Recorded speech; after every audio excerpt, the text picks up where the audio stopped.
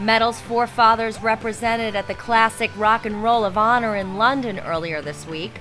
Iron Maiden took home the award for Band of the Year, Black Sabbath won for Best Reissue, ACDC's Black Ice won for Album of the Year, and Anvil won for DVD Film of the Year. Dream Theater took home the Spirit of Prog Award.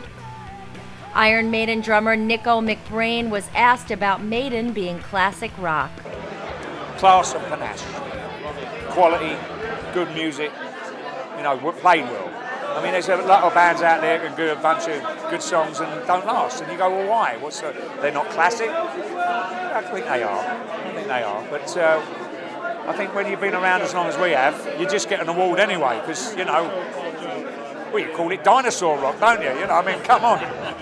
Um, I don't know, it's a good question, I ain't got a good answer for it. Iron Maiden is currently running a contest to design their holiday cards, and they're asking for fans to design it with the theme of their CD DVD release, Flight 666, which is in stores now.